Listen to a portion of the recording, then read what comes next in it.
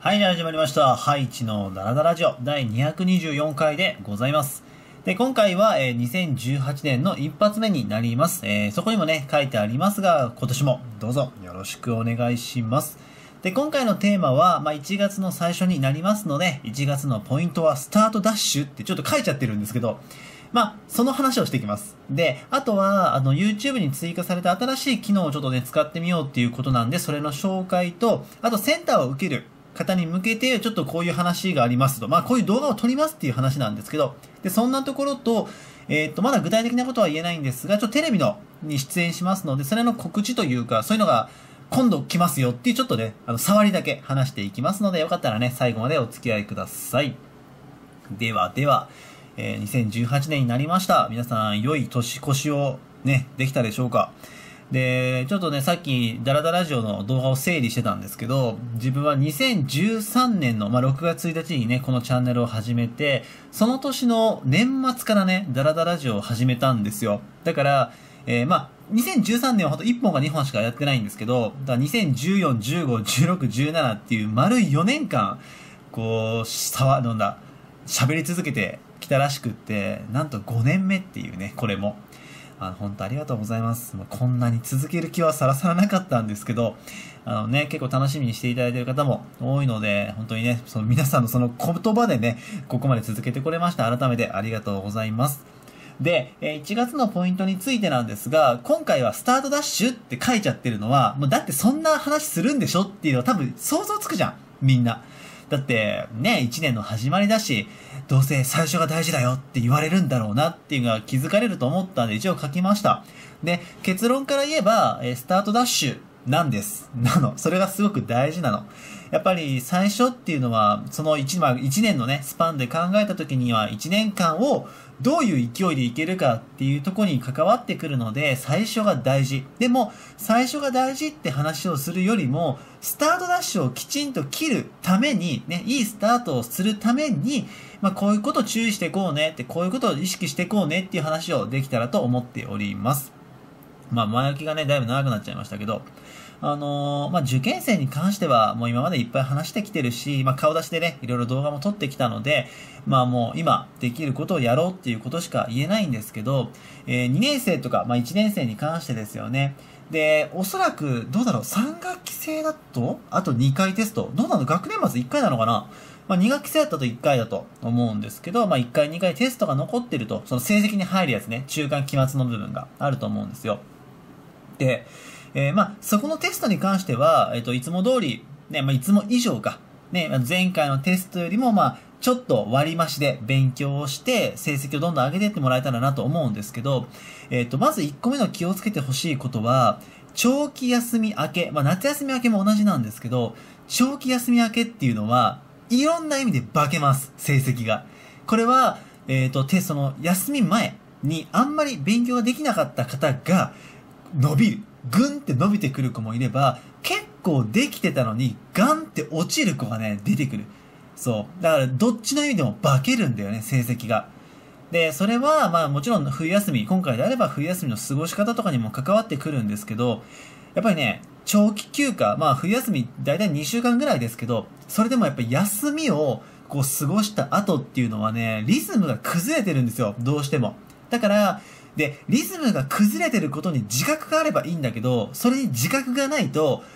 今過ごしてるのが、前、その、休み前よりリズムが崩れちゃってるのに、今の状態が普通だと思って過ごしてるから、別に、なんだろう、やばい、なんとかしなきゃっていう危機感がないからさ、そのままズルズルいっちゃってテストで大こけするっていう。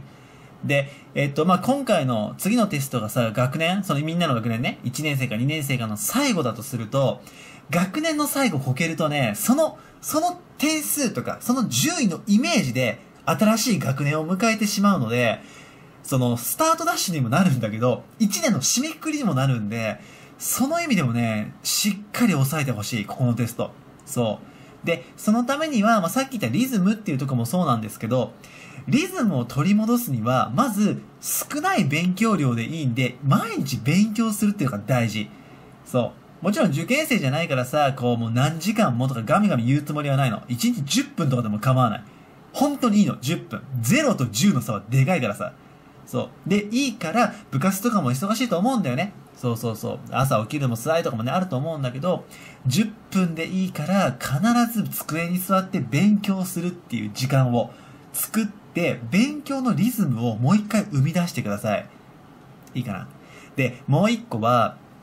結構こう年越しの時さ、まあ、なんだろう、お父さんお母さんの実家に帰ってた方とかもいると思うんですよ。帰省されてた方とかね。で、あの、まあ、大人もそうなんですけど、その12月と、まあ、年末年始っていうのはバタバタするの。で、きっとその、みんな自身がバタバタしてたのもあると思うし、その、家族とか周りがバタバタしてると巻き込まれるでしょそのバタバタに。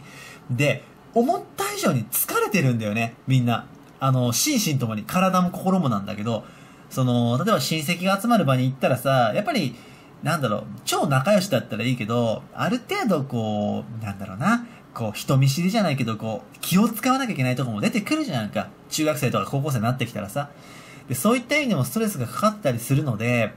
あのね、体調崩すんだよ。結構。で、学校休んでた、休みだったんだけど、学校始まって、そこでまた疲れるからさ。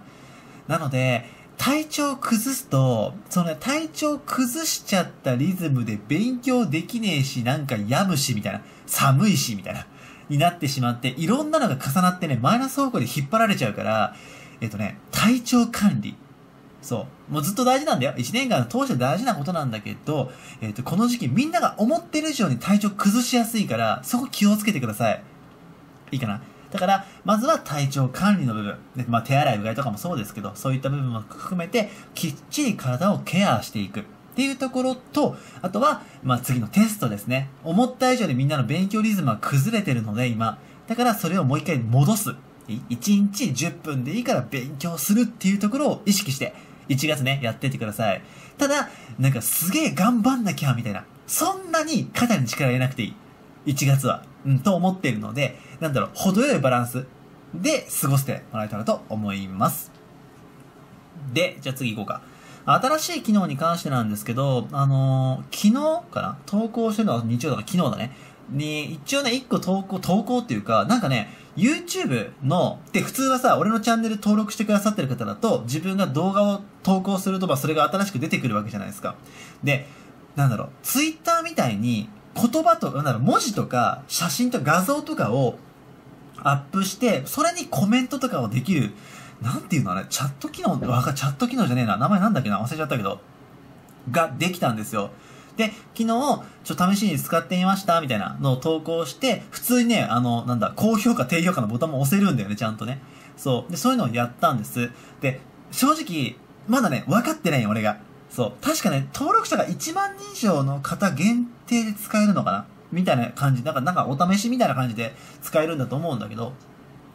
で、それをちょっと有効に使えたらなと思ってます。基本、基本的には、え告知とか伝達事項。例えば、ダラダラジオ、ちょっと今日は間に合わないんで、今週は月曜にアップしますって伝達したりとか、で、まあ下にね、あ、さっき、口でちょっと話しましたけど、えー、おととい、違う、3日、おとといだね。おとといに、えっ、と、テレビの取材を受けました。で、これはおそらく、えっ、と、全国放送でみんなが知ってるぐらいの本当有名な番組なので、えっ、と、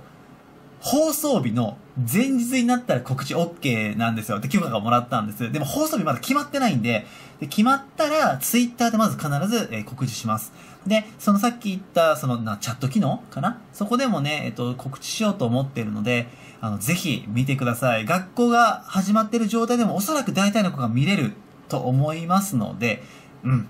あの、自分の中でね、結構出たい番組っていくつかあるんですけど、そのうちの一つの、そう、ものがね、叶ったものなので、ぜひよろしくお願いします。頑張ったから。そう。で、もう一本今月はちょっとテレビの取材が入ってて、それはちょっとね、全国とかそういうのじゃないかもしれないんでわからないんですけど、まあそういったところも含めて告知できたらなと思っております。はい。で、まあうまく使いこなせるかどうかわからないので、そのずっと使っていくかどうかわかんないんですが、そういった機能があるっていうことを、なんか、あれなんかこ、あれ、配置な言葉書いてあるけど、みたいなのが目にすることもあると思うので、まあそういうのだと思って理解しておいてください。で、あともう一個、センターを受ける人へと書いたんですが、えー、っと、来週、まあ来週、今週って言い方が正しいのかな？まあ次の土日ですよね。センター試験になります。で、本当はね、ダラダラジオでセンターの受ける方へっていう話をしようかなとも思ったんですが、えー、せっかくなので、今週中のどっかで、まあ顔出しでね、まあ、センターを受ける子に向けて、今更さ、こういうことやってこうぜっていうのは別にもうナンセンスだと思うので、そういうことじゃなくって、まあ、一応ね、センター自分も受けた身なんで、こういう風な思いを持ってやってきたよって、こういうことがあるかもしんないけど頑張ってねっていうちょっと励ませるような動画をね、撮れたなと思っておりますので、よかったらそちらの方もね、まあ、センター受ける方、もちろん、えー、高校受験で受験を控えてる方も同じなんですけど、よかったらそっちもね、見てみてください。はい、という感じでね、ちょっと年始一発目からちょっと駆け足で話してきたんですが、ここまでご視聴いただき本当にありがとうございました。で、まあ、正直なこと言うと、えー、2017年が終わった時にダラダラ城いい区切りだからね、もう4年も続けてきたから終わってもいいのかなって、まあ前もちょっと話したけどそんなこと思ったんですが、でもやっぱり自分の中ではこのダラダラ城っていうのはね、まあ好きなこと好き勝手に話せるとこなんだよね、結構。そう。あの、ブラックなこともたまに話すし、そうそうそう。だからもしかしたら、えっ、ー、と、最近ツイッターではね、ちょこちょこ顔出してる、まあ、黒配置ね。ちょっとブラックな心を持った こととかもね、あの、ダラダラ、ダラダラジオで話すこともあるかもしれないんですけど、まあ、2018年も好き勝手に、ダラダラと、このね、あの、チャンネルでねえや、この回やっていきますので、よかったらね、毎週お付き合いいただけたらと思います。はい、ということで、では、新年一発目ありがとうございました。まあ来週はね、えっ、ー、と、センター当日になるので、まあセンター絡みの話をするかもしれないんですが、まあセンターとか20の話ね、するかもしれないんですが、もしよかったら次回の方もぜひね、お付き合いください。では、今回はこれで終わります。以上です。ありがとうございました。最後までご視聴いただきありがとうございました。今表示されている関連動画や再生リストの方から他の勉強動画とか、えー、テーマを決めて喋った動画に飛ぶことができますので、よかったらそちらも見てみてください。また、チャンネル登録や高評価していただけると励みになりますので、そちらもぜひよろしくお願いいたします。